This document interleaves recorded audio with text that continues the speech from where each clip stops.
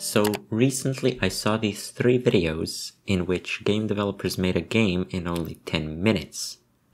And well, I wanted to try to challenge myself, but compared to these game devs which use a game engine like Unity, I decided to do the opposite and not to use any game engine at all. I'll cover more of these details in a moment, but the whole challenge actually went better than I expected. I decided to recreate Pong since I thought it would be easy enough to create it in 10 minutes. I mean, I only need like 4 rectangles and a circle to recreate Pong, so it shouldn't be that difficult, right? Well, yes and no. The game itself isn't that difficult to code, but because 10 minutes is a very small amount of time, playtesting is close to non-existing, and the general rule of programming is that rarely playtesting is like riding a bike and rarely opening your eyes. It is very easy to make a mistake, which can break absolutely everything.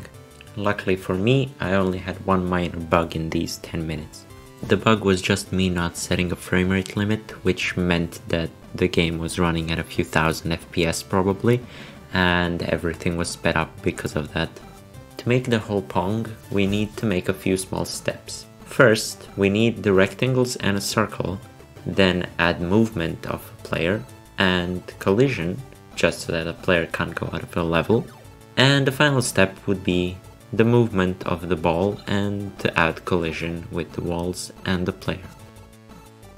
Since I finished a few minutes before the end, I decided to add a rainbow effect to all of the blocks, which would make the game look more alive.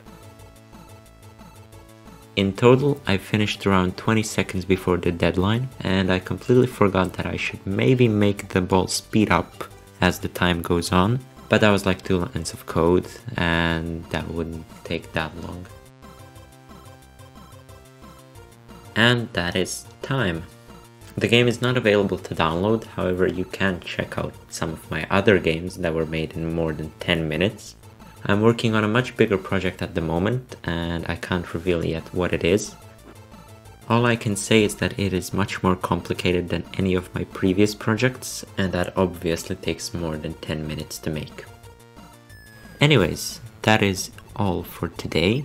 Thank you for watching and until the next one.